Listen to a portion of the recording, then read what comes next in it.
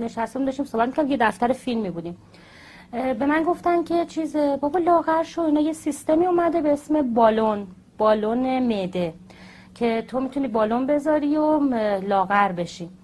منم گفتم واقعا اینجوری کنم آره بابا چیه دارین مثلا موقع من مثلا 100 کیلو 100 کیلو هم نه 90 بودم یه موقع میادم رو 100 دوباره صداقتتون قابل اعتماد نه اختیار داریم بذارین دیگه اینقدر راجبش صحبت میشه بذارین خودم بگم واقعا. خب.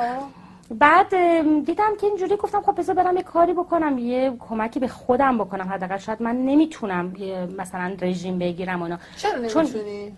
ببین من انواع و اقسام رژیمایی که تو دنیا هست رو گرفتم. خب یا حداقل با دکتراشون آشنا شدم. خب اصلا از کی درگیر این اضافه وزن چند سال من الان فکر می‌کنم یه ده سالی هست که درگیر این قضیه هستم. چون من